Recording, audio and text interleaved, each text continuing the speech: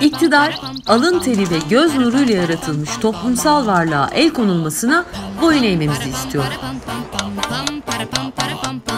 Boyun eğmiyoruz.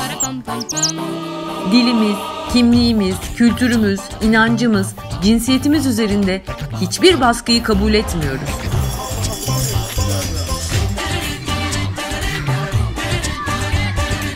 Eşitlik, özgürlük ve adalet için mücadele ediyoruz. Bütün toplumsal muhalefet güçlerini Demokrasi İttifakı'nı yeniden kurmaya çağırıyoruz.